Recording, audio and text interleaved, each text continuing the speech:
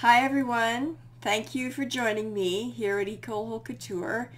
I'm Jutta Holtkamp and I'm in the studio of Ecole Couture. Now I'm pretty sure none of you have ever seen it quite like this and I assure you it is rarely ever like this. I have been taking some time over the past month to do a project that I am filming at, at the time and it's in its editing stage which I will post. And then after that, I thought, well, this is a great opportunity before I start in earnest. I need to go through the school, take inventory of everything that we have. The last time it was done was way back in 2006.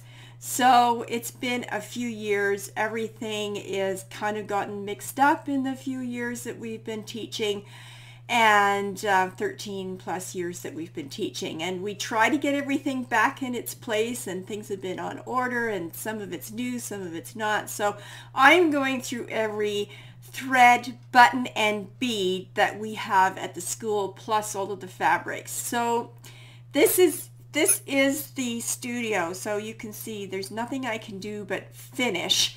And I just wanted to you to, oh, just wanted to encourage you to keep going on whatever projects that you're interested in and and passionate about.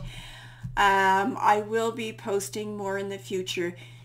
In the meantime, happy sewing, and we'll see you as soon as this is cleaned up.